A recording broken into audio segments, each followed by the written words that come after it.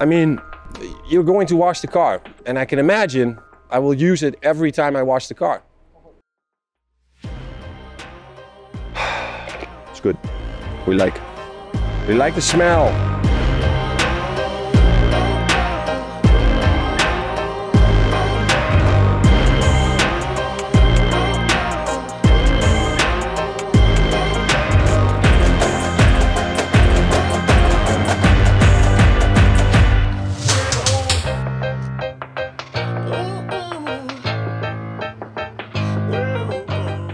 Silky smooth.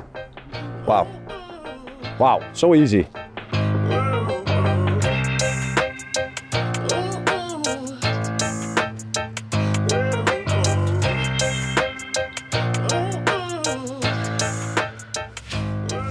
See, it really looks like it's been, it's like, it's very strange. Normally you paste wax, you know, with all the effort rubbing in, wiping off, but this gives the same effect, only in 10 times faster. I mean, I can imagine doing the whole car with just one microfiber. Not two, not three, maybe just one. The application is very easy, simple, you don't need very much product. So I can imagine basically anybody could use this. Good job.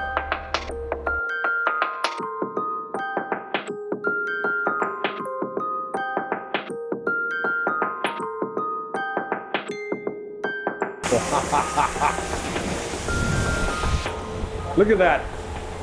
Look at that. You can't get it wet. It's not gonna get wet.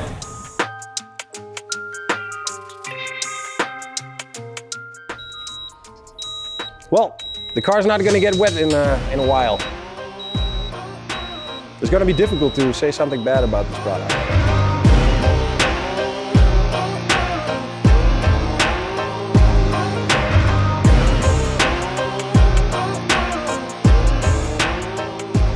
So beading by itself, of course, is to generate very easily. Beading, creating beats is not very difficult. However, there are two different things. There's contact angle and there is roll-off angle. So contact angle means that when it hits the surface, it becomes like a perfect bead.